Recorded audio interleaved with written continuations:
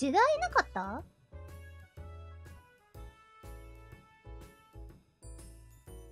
気のせいかな？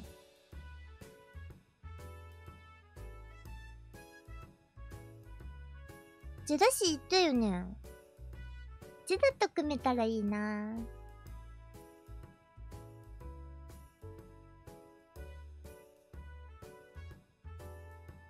言っていいかわかんないけど、こないださ、ジェダからチャット来てたけど、帰ってこないわって言ってたじゃん。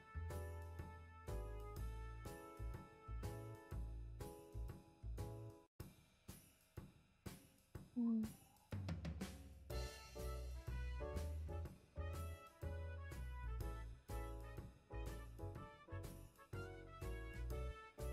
そう。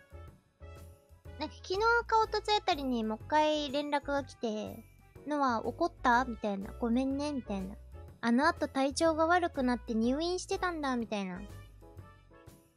怒らないでみたいな。ええー、って思って。え、大丈夫？みたいな。ほんと大丈夫？みたいな。だってさ、初めてゼラと組んだ時からさ、あのー、体調っていうか体が弱かったからさ、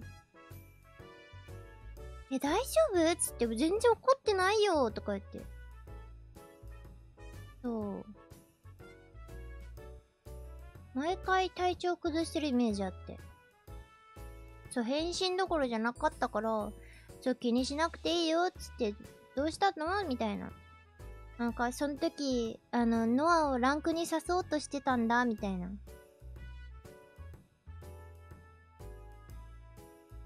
うん。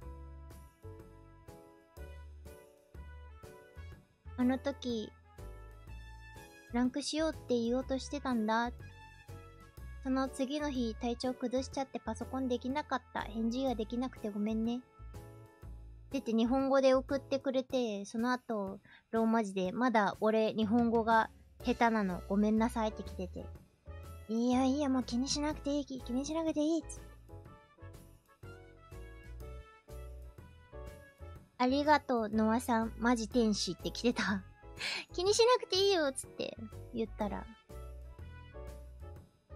ジェダのジブ見て練習してるよって言って送ったら、じゃあまたランクやりましょう、つって。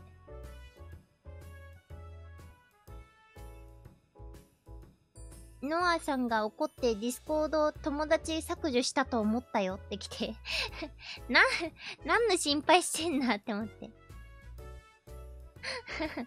そんなんで削除しないよって思って。うん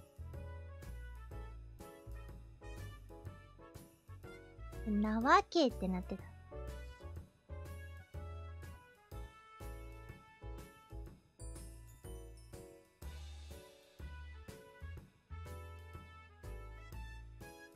そう。で、まあ、そのランク誘おうとしてたって言ってくれてたから、なんか次のあの、スプリットは V スポのメンバーでマスター目指すんだって、だから、次の新シーズン一緒にやろうね、つって約束だよって言ったら、オッケーって来てた。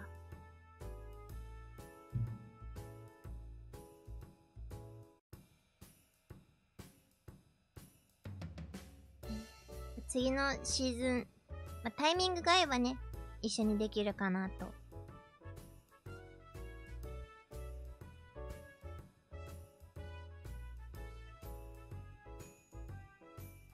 うん。